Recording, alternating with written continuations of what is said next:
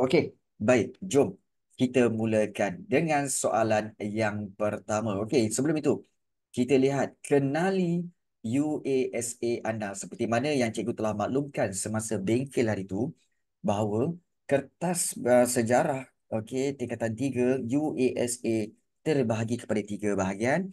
Bahagian A, bahagian B dan juga bahagian C.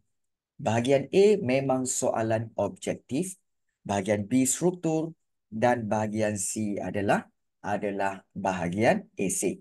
Baik, jom kita lihat sama-sama. Baik, soalan nombor satu.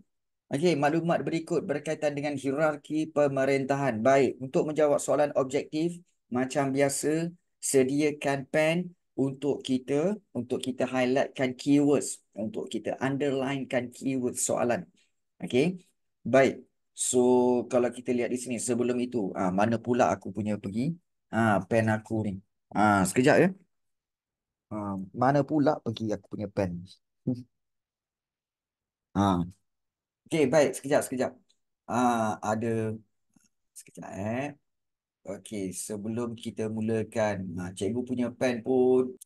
Okey, Soalan nombor satu. Okey, maklumat berikut berkaitan dengan hierarki pemerintahan. So, kalau kita lihat hierarki pemerintahan ini, okey, uh, di negeri-negeri Melayu. Okey, sistem kesukuan, kesultanan dan sistem ketua bebas. Apakah kerajaan yang melaksanakan sistem pemerintahan tersebut? Jawapannya adalah ya. Tak lain tak bukan jawapannya ialah A, iaitu di di Sabah. Betul sangat. Bagus. Sebab apa? Sebab yang lain-lain ni akan mengamalkan apa? Mengamalkan sistem sistem ke kes, uh, kesultanan. Ha, nombor satu A. Bagus. Nombor dua. Sistem sukatan yang diperkenalkan oleh British di alam Melayu. Ah, okay. Iaitu adakah ounce, adakah juga ah, okay, kepul, cupak dan juga gallon. Ingat, Ingat, sistem sukatan yang diperkenalkan oleh British di alam Melayu. British eh, bukan Melayu eh, British. Jadi, okey, yang mana satu sebenarnya cikgu? Baik, sebenarnya jawapannya apa? Jawapannya adalah iaitu ounce dan juga gallon. Ounce dan juga gallon. Jawapannya adalah B. Ingat tu eh, bahawa sebenarnya untuk kepul dengan cupak, ini adalah diperkenalkan oleh sistem sistem Melayu. Ah, okay. Ah, okay. Dalam Google Classroom tak ada rasanya. Yang ini yang ada yang cikgu baru bagi dalam dalam uh, apa di dalam uh, grup WhatsApp. Uh, dalam grup WhatsApp sebenarnya. Ya. Yeah. Uh, Okey, baik. Baik. Soalan tiga. Pernyataan berikut berkaitan dengan institusi pendidikan masyarakat Melayu. Okey, diawasi oleh mudir. Okey, mudir ni guru besar eh. Siapa tak tahu mudir ini guru besar. Tetapi mudir ini guru besar apa cikgu? Guru, mudir ini sebenarnya adalah guru besar sekolah agama. Ah, guru besar sekolah agama, mudir. Jadi apakah institusi ini? Ah, okay. Jawapannya adalah ya. Nombor tiga jawapannya adalah madrasah. Baik. So, cikgu tahu Satya, kenapa kamu salah? Sebab kamu tak tahu mudir tu apa? Mudir tu ialah guru besar sekolah agama. Bila tahu sekolah agama, maknanya itu adalah madrasah. So, soalan satu, dua dan tiga ni sebenarnya diambil daripada bab satu. Bab satu ya. Ah, bab satu. Take note benda ni tentang guru besar sekolah agama dan sebagainya. Baik. Soalan seterusnya, soalan nombor empat. Orang Eropah memerlukan barangan mewah dari China. Jadi, apakah barangan mewah tersebut? Teh, emas, rempah, tembikar. Jawapannya senang sangat. Jawapannya adalah teh dan juga tembikar. So jawapannya adalah C. Betul? Betul. Bagus Zahra, bagus Santosh. Okay, dan juga Satya serta Liana Alisha, bagus. Baik. Soalan yang kelima. Kalau kamu ada yang tak faham, bagi tahu tau. Ya, jangan kamu diam sahaja. Baik, soalan nombor lima. Maklumat berikut menerangkan pertempatan batu uban di Pulau Pinang. Bila dah start dengan batu uban di Pulau Pinang ni, maksudnya ini dah masuk bab yang ke bab yang kedua. So, Sultan Kedah telah menganugerahkan kawasan tersebut kepada orang Melayu dan dari Sumatera. Mengapa Sultan Kedah bertindak demikian? Kerana telah menyebarkan agama Islam, nak membantu menentang Siam, membuka pusat perdagangan dan juga menjalin hubungan diplomatik. Soalan lima, jawapannya apa? Ada yang kata A, ada yang kata D. Tengok betul-betul. Okey, Sultan Kedah telah menganugerahkan kawasan tersebut kepada orang Melayu dari Sumatera. Siapakah orang Melayu dari Sumatera? Sebenarnya orang Melayu dari Sumatera ini adalah okey iaitu orang Aceh. Orang Aceh. Take note situ. Dan kenapa orang Aceh ini ah telah diberikan okey batu uban kepada pulau uh, kepada uh, mereka? Kerana apa? Kerana orang Aceh ini telah membantu Kedah menentang Siam. So jawapannya B. Jawapannya B. So take note benda ni eh. Ah, kita nak benda ni bahawa orang Melayu dari Sumatera tu maknanya refer kepada orang Aceh. Okey. Baik. Soalan yang keenam. Ha. Boleh relate ke? Uh, uh, boleh relate ke ancaman Siam? Ya. Yeah. Uh, sebenarnya memang betul bahawa sebenarnya okay, Sultan Kedah memang Kedah selalu diserang oleh Siam. Selalu diserang oleh Siam. Tetapi siapa yang membantu Kedah pada waktu itu? Iaitu orang-orang Aceh dari Sumatera. Ah, okay. Cikgu boleh real, uh, relate ke ancaman siam ke SHTI? Bukan, bukan. Belum SHTI lagi. Ini sebelum SHTI datang. Ini sebelum SHTI datang. Sebelum eh. Sebelum Francis Light duduk kat Pulau Pinang. Take note benda tu. Ini sebelum. Ya. Yeah. Baik. Soalan nombor enam. Apakah keistimewaan Pulau Pinang sehingga British meluaskan kuasa pada awal abad ke-18? Apa hebatnya Pulau Pinang ini? Nak jadi pangkalan tentera laut? Okey, pentadbiran yang aman. Apa pentadbiran yang aman? Tak pernah dengar pun. You see? Pengeluar biji timah dunia. Pulau Pinang biji timah ke? Mana ada biji timah kat Pulau Pinang? Tak ada. You see? Dan pusat pengumpulan barang. Ya, betul. Jawapannya satu dan empat B. Nampak tak? Penilaian kepada setiap pilihan jawapan sangat penting. Nilaikan satu-satu. Betul ke? Salah ke? Betul ke jawapan ni? Jawapan ni macam tak pernah dengar je. Macam tu. Ya? Baru kamu tahu mana yang betul, mana yang salah. Baik. Soalan yang ketujuh. Apakah persamaan Okey, tugas persamaan eh tugas tokoh berikut terhadap British. Stanford Raffles, William Farquhar. Apakah persamaan tugas? Ah, okey. Adakah mencari pelabuhan baru, memulangkan kawasan jajahan, meluaskan pengaruh ke alam Melayu atau menandatangani perjanjian surat Q? Jawapannya adalah okey. Kamu kena tahu eh, Stanford Raffles dengan William Farquhar dikehendaki oleh British untuk pergi ke Tanah Melayu dan mencari pelabuhan baharu. Kerana apa? Ah, jawapan dia A. Kerana apa? Kerana Pulau Pinang terlalu jauh ke utara. Maka mereka dikendaki untuk mencari pelabuhan di bawah yang lebih strategik. Sebab itu mereka mendapatkan Singapura. Ingat eh, Stanford Raffles, William Farquhar terlibat dalam ah dalam pengambilan Singapura. Okey, ah iaitu mereka mengambil Singapura untuk British. Tujuh adalah A. Baik. Soalan yang ke-8. Apakah kesan peristiwa berikut pada abad uh, okay, peristiwa ke-19 Pulau Pinang dan Bangkahulu tidak mampu menyaingi pelabuhan Belanda di alam Melayu. Pulau Pinang dan Bangkahulu adalah dua pelabuhan British. Okey, dua pelabuhan pelabuhan British tapi tidak mampu okey bersaing aa, dengan pelabuhan Belanda. Jadi apakah kesan? Tengok eh. Apakah kesan peristiwa ini? Belanda menyerang alam Melayu? Tak pernah dengar. Pedagang beralih ke Indonesia? Tak pernah dengar.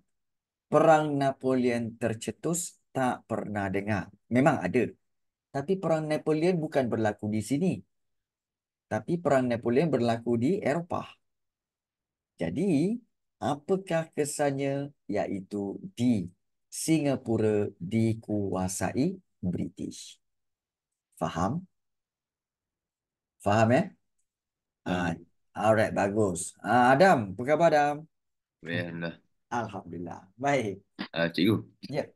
apa ni uh, perang Napoleon tu kita akan belajar masa form 4 ke? Perang Napoleon sebenarnya kita belajar sekali imbas. Ah, kita tidak belajar secara detail, cuma sekali imbas di mana perang itu berlaku di antara British dan juga dan juga Perancis. Ah, Oh, British dengan Perancis sebenarnya. Ah, perang Napoleon ini. Ah, jadi Belanda ini terlibat ah, dan Belanda ini jadi mangsa dan Belanda melarikan diri lah.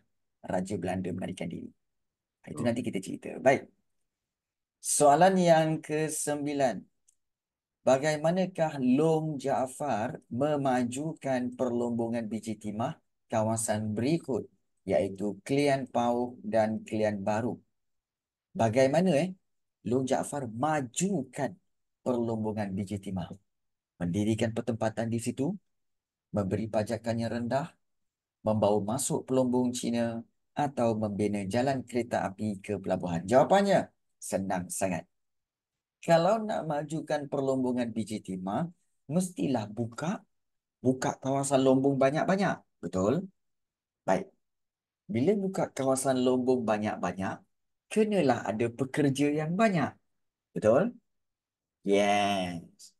Bila pekerja yang banyak, mana nak cari pekerja yang banyak?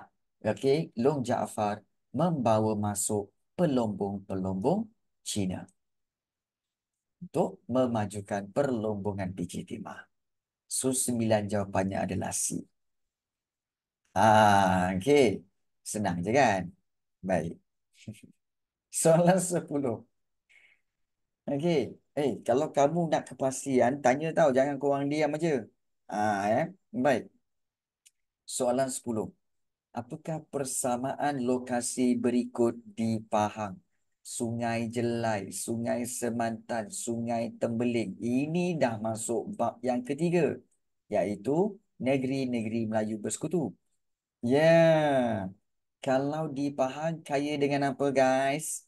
Ah, hi, Temas, what's up guys? temas, temas. Jawapannya emas. Jadi Khairul Amin cikgu. Ya, kan? Ya. Hi, what's up guys? Okey. Okey, Khairul Amin eh. Okey, baik. 10 adalah di. Baik. 11. Okey, kesan 11. Apakah kesan peristiwa tersebut terhadap Perak? Apabila Ngah Ibrahim membawa masuk pelombong Cina, lalu berlakulah pergaduhan pelombong Cina antara kumpulan Yihin dan juga Haisan. Apa yang berlaku? Okey, iaitu ah okey. Okey, campur tangan British, perang larut tercetus, pemberontakan pembesar Melayu atau kemerosotan pengeluaran biji timah. Jadi apa yang berlaku? Soalan nombor 11. Baik, 11 jawapannya apa? Ah, okey, semua sebenarnya sebenar-benarnya eh, hampir semua jawapan ini hampir betul cikgu.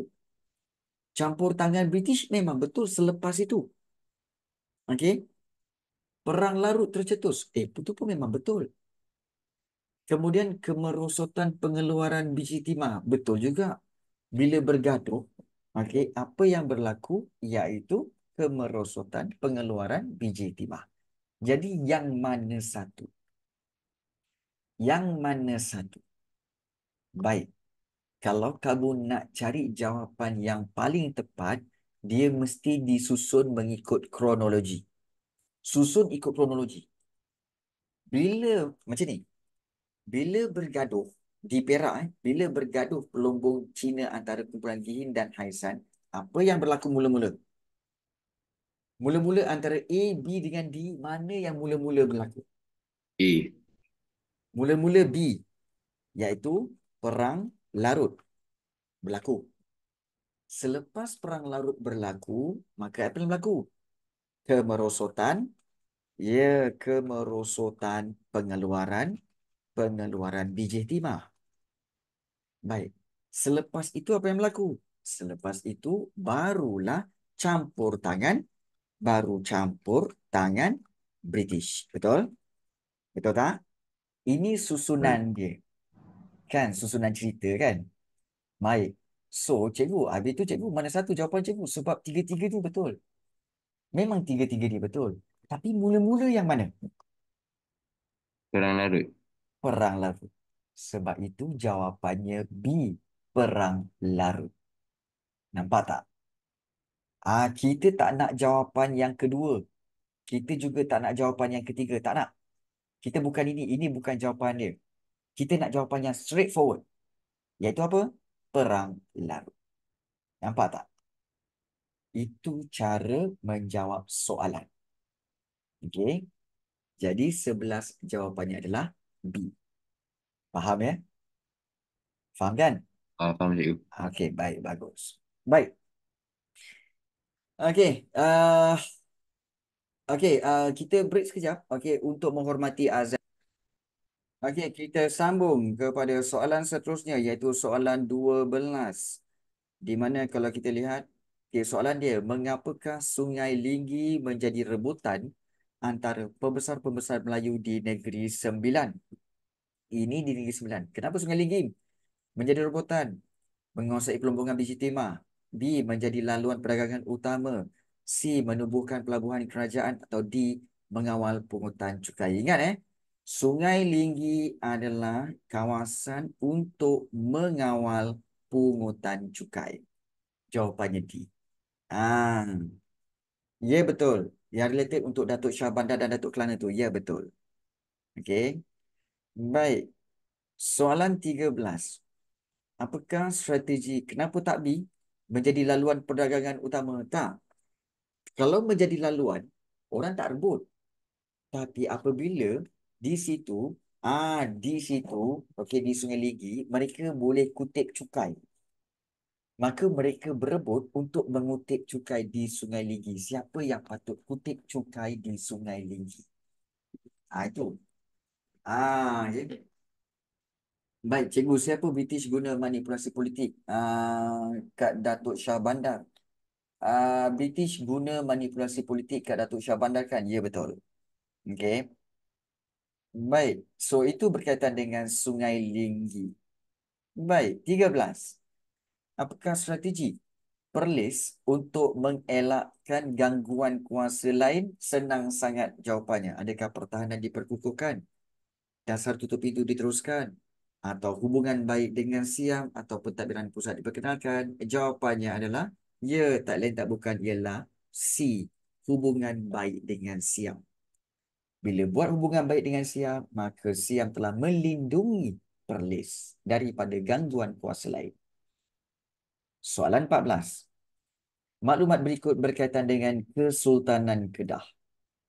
Sistem pemerintahan Islam telah bertapak di Kedah sejak abad ke-12 di manakah pusat pemerintahan Islam kerajaan tersebut? Iaitu di mana? Di adakah di Alostar ataupun di Anak Bukit ataupun juga adakah di Kuala Muda atau Kota Bukit Meriam?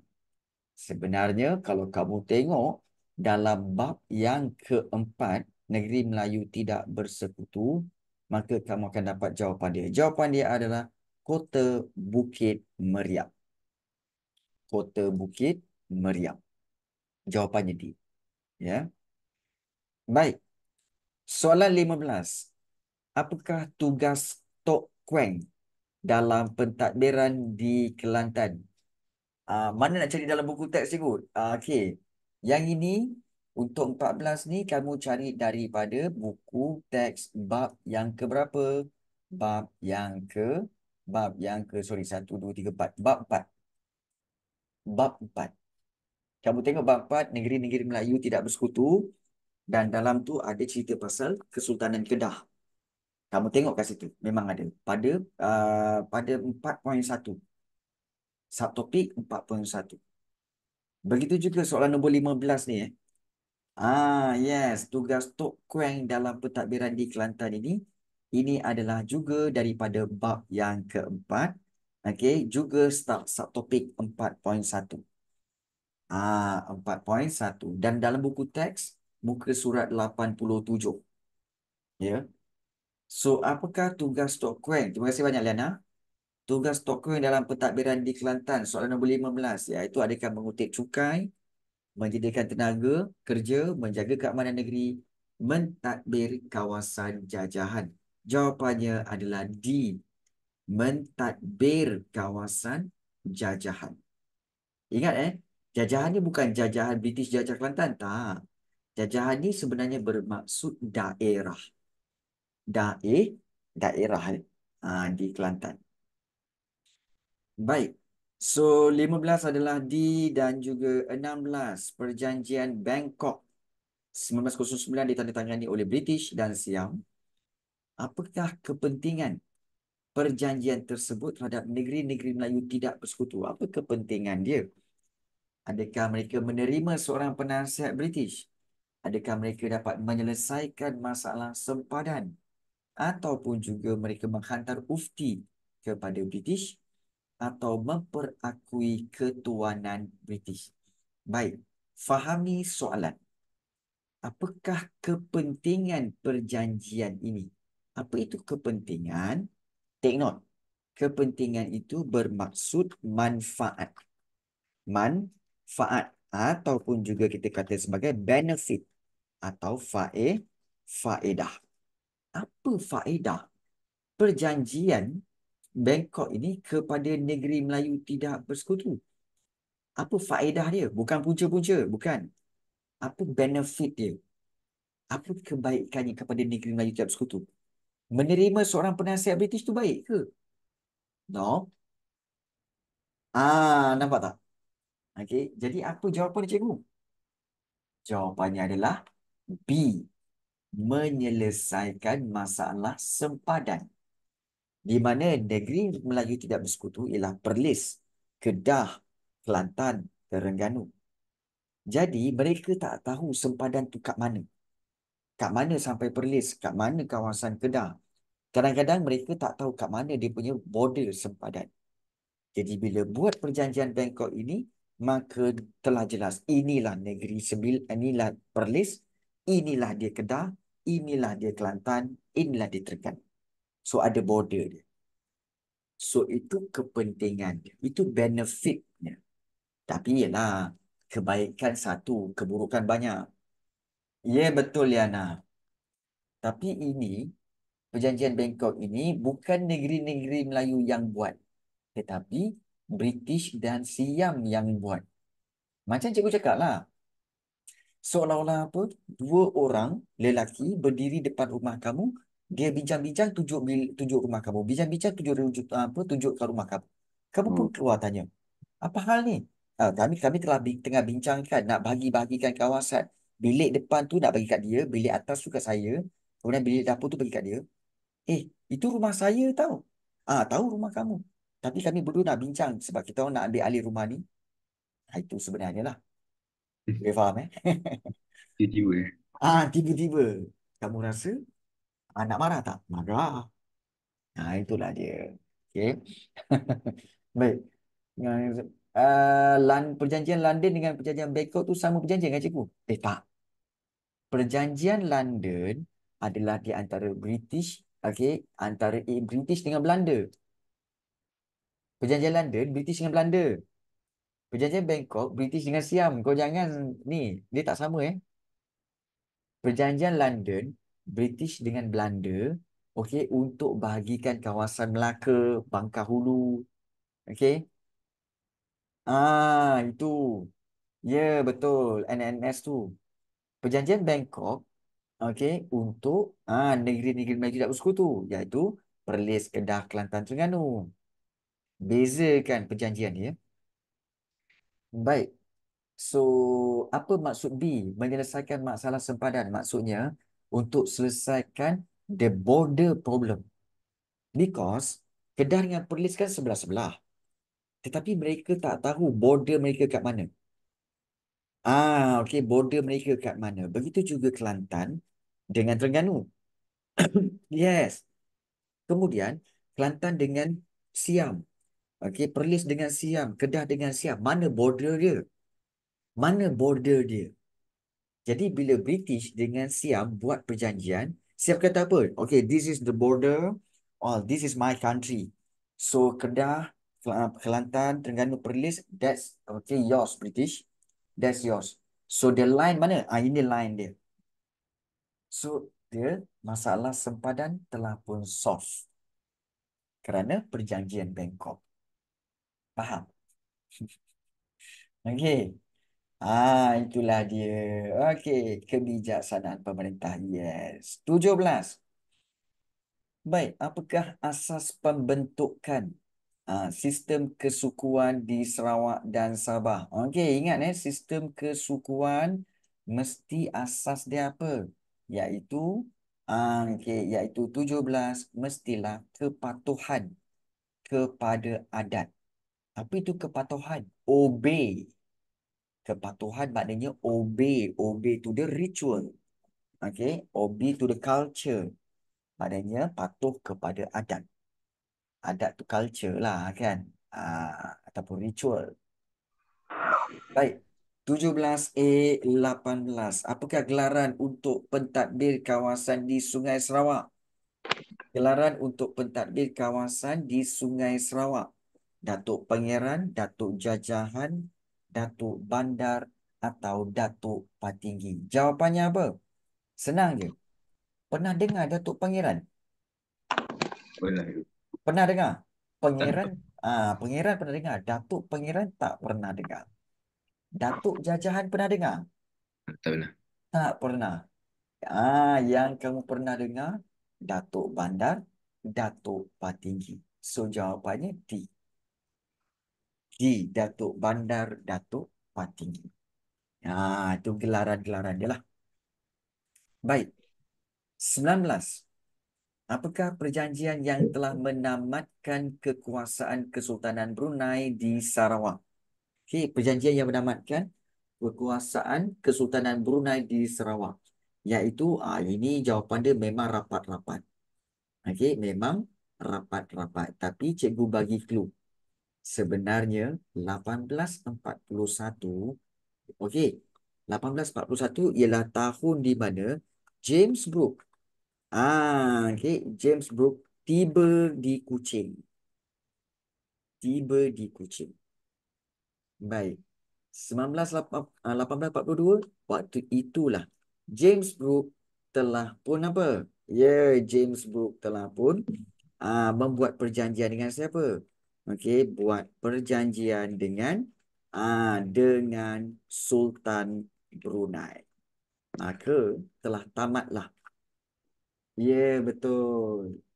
1841, James Brooke tiba di Kuching dan dia buat perjanjian dengan siapa? Buat perjanjian dengan uh, dengan pangeran ya, pangeran Raja Muda Hashim. Melaka. Yeah. So, jawapan sebenarnya apa? Jawapannya adalah B. Bila buat perjanjian dengan Sultan Brunei, maka tamatlah kuasa Sultan Brunei di Sarawak. Ya. Dan 20. Sultan Abdul Mukmin telah menyerahkan Sungai Raja kepada James Brooke dengan bayaran 4,500 dolar Sepanyol setahun. Mengapa baginda bertindak sedemikian? Elakkan penguasaan barat, membantras ancaman landon yang berleluasa Sarawak, membantu menghapuskan kebangkitan orang tempatan dan dimengekalkan kedudukannya sebagai Raja Sarawak. Senang je. Kenapa Sultan Abdul Mukmin dia bagi kawasan itu kepada James Brooke? Sebab James Brooke telah buat apa? James Cook telah membantu menghapuskan kebangkitan orang tempatan. So jawapannya C. Ah, jawapannya C kat situ. So yang ini sebenarnya adalah soalan-soalan perang USA melibatkan apa tahu? Ah, UASA melibatkan bab 1 hingga bab 5 sahaja sebenarnya. Ah, sebab itu ah, okey dia ianya sampai bab 5 dia tak masuk bab 6 7 8. Ah, belum. Nanti kita akan tengok set seterusnya ada bab 7 dan 8.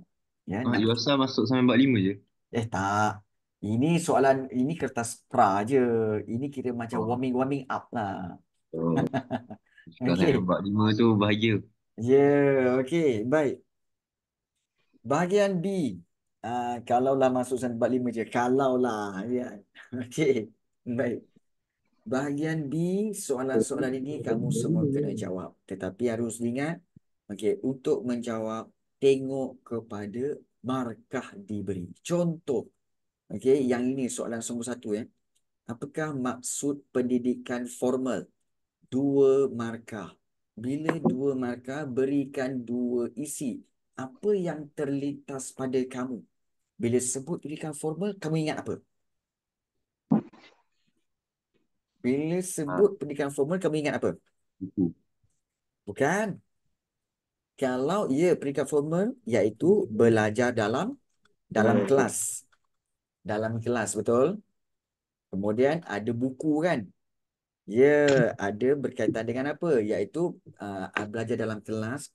Kemudian ada ada sukatan pelajaran, betul? Ada silibus. Okey.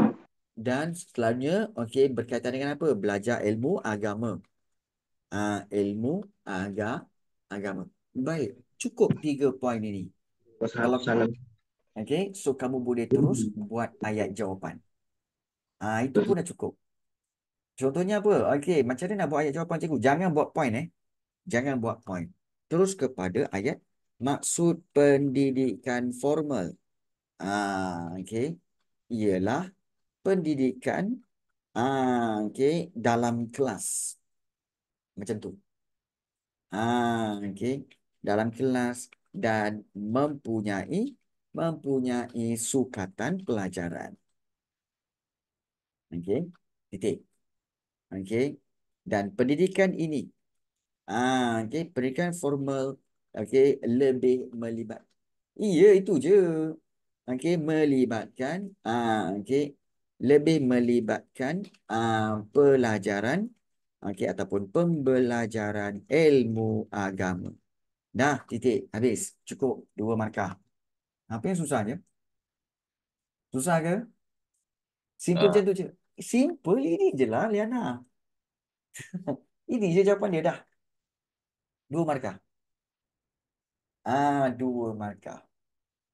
Ah, okey. Bukan susah pun sebenarnya. Okey, baik. Tapi kamu tak pernah cuba. Jom kita cuba. Asyik jumpa soalan tak tahu poin apa nak bagi. Itu je. Itu je. Baik. Soalan B. Apakah ilmu pendidikan formal yang diajar di institusi berikut? Kalau pendidikan di masjid atau surau, satu markah. Tempat belajar boleh ke? Tempat belajar boleh. Contohnya kamu kena tulis madrasah. Kena tulis madrasah.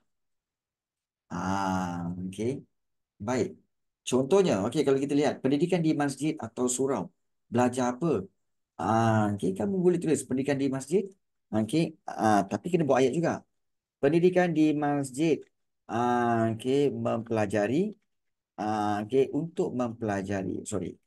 Okey, untuk ah okey untuk mempelajari ilmu tajwid. Contoh eh. Ilmu tajwid. Dah. Sebenarnya dia banyak. Ada tajwid, ada fiqh, okey, kemudian juga ada ah, ada hadis. So nak nak bagi semua ke cikgu? Tak payah. Okey, ambil satu cukup. Sebab satu markah. Ah, boleh tapi dikhawatiri ianya ah, ianya tidak mencapai itu. Ah, kalau boleh. Kalau boleh lah. Tapi kalau kamu rasa sebenarnya okey, untuk bahagian B12 ni sebenarnya kalau kamu nak jawab ah, seperti contoh pendidikan di pondok. Okey, belajar apa? Al-Quran. Kamu nak tulis ni je. Al-Quran. Ada setengah sekolah bagi. Ada setengah sekolah kata kena buat ayat. Dia bergantung pada guru kamu jugalah sebenarnya. Ah, okey. Tapi yang penting ada jawapan kat sini lah. Sebab dia satu markah je pun. Ah, okey. Dia satu markah saja. Okey. Jadi boleh. Cikgu rasa sesetengah sekolah memang membenarkan untuk bahagian B asal ada nombor je ni, nombor satu, nombor dua, kamu boleh untuk berikan jawapan terus tanpa buat ayat. Ya. Tapi kalau untuk soalan bahagian C ni, ini memang tak boleh lah. Kena buat ayat lah kan. Bagaimanakah pendidikan di madrasah dilaksanakan? Ah, okey. Ini sebenarnya macam mana nak buat cikgu? Pendidikan di madrasah. Sebenarnya sama point dia. Iaitu apa? Kamu boleh beri point iaitu okey, mempelajari ah, okey, ilmu agama. Kemudian juga diawasi. Siapa yang jadi guru besar dia? Ya, oleh mudir. Lagi cikgu. Dah itu je lah. Dua markah kot. Jadi kamu bagilah dua tu. Caranya macam mana? Bina ayat. Ah, bina ayat iaitu pendidikan di madrasah dilaksanakan ah, okey untuk okey dengan mempelajari dengan mempelajari ilmu agama. Okey, serta diawasi ah, diawasi oleh mudir titik. Dua markah. Senang kan? Jawapan sejarah senang. Kamu je yang jarang-jarang, jarang-jarang buat. Okey, so rajin-rajin buat eh. Ah, okey, baik. Soalan D. Okey. Ah, okey. Baik. Soalan D, mengapakah pendidikan formal masyarakat Melayu berkembang selepas kedatangan Islam? Empat markah. Baik, ini adalah kita kata okey soalan-soalan okey kebat. Ini soalan kebat. Okey, macam mana nak fikir cikgu jawapan dia soalan kebat ni? Pening ni cikgu. Dalam empat markah. Ah, okey. Kalau soalan kebat, jawapan-jawapan kebat yang okey boleh diterima akan menjadi akan memberikan markah. Contoh, mengapa berikan formal? Jadi masalahnya is bila kita buat revision senang cikgu tapi bila buat exercise semua jadi susah. Okey, baik Sarah. Sebenarnya Sarah, kita kena selalu buat perbincangan soalan macam ni. Baru tahu cara macam nak jawab. Ah, itu sebenarnya. Ah, okey, baik. Mengapakah pendidikan formal masyarakat Melayu berkembang selepas kedatangan Islam? Iaitu apa? Selepas kedatangan Islam, siapa yang menggalakkan? Ah, Ya betul Liana. Baik. Kenapa berkembang selepas kedatangan Islam? Kerana siapakah pemerintah negeri pada waktu itu? Sul Sultan kan? Sultan menggalakkan. Ah, okay. Sultan menggalakkan. Ah, okay. Rakyat mempelajari mempelajari ilmu agama. Baik. Macam mana mempelajari ilmu agama ni cikgu? Iaitu dengan aa, menjadikan apa? Okey, menjadikan okey, aa, okey, menjadikan istana. Okey, dan masjid. Ah, okey, masjid sebagai pusat ah, okey, perkembangan ilmu.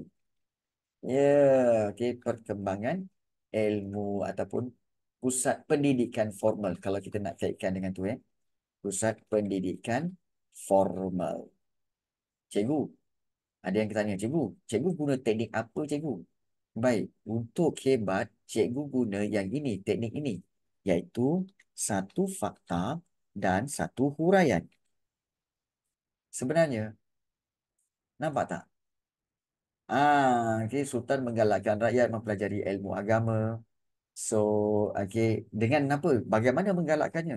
Sultan jadikan istana dan masjid sebagai pusat pendidikan formal. Ha, begitu. Baik, itu fakta dan huraian. Seterusnya, apa lagi yang kita boleh kaitkan dengan uh, dengan uh, okay, pendidikan ini berkembang? Okey, kita tahu bahawa fakta yang kedua iaitu berkaitan dengan uh, okay, iaitu semua rakyat okay, termasuk okay, kaum wanita berpeluang mendapatkan ah mendapatkan pendidikan formal. Ah, yes, okay. Ah, okay. Semua rakyat termasuk kaum wanita berpeluang mendapatkan pendidikan formal. Maknanya diorang boleh pergi pergi sekolah. Ah, perempuan pun boleh pergi sekolah. Jadi kita boleh katakan bahawa ah, huraian kedua, cikgu macam mana nak ayat huraian daripada ni? Termasuk kaum wanita. Okey. Uh, pondan boleh ke? Mana ada pondan waktu itu? Baik. Semua rakyat termasuk kaum wanita berpeluang mendapatkan pendidikan formal. So kita boleh tulis bahawa uh, okay, ini membuka peluang. Okey. Ini menggalakkan hal ini eh. Uh, hal ini menggalakkan. Uh, kita boleh tulis kat sini. Hal ini menggalakkan kaum wanita. Menggalakkan penyertaan. Okey kaum wanita. Okey. Uh, okey uh, penyertaan kaum wanita uh, bagi mempelajari. Uh, okey mempelajari okey ilmu di madrasah. Uh. so di sini kalau kita lihat kita hanya perlu untuk huraikan daripada fakta itu. Baik Cikgu nak tanya, cukup tak untuk kita dapat empat markah? Cukup kan? Yes. Ya, jadi bila cukup kita bina ayat.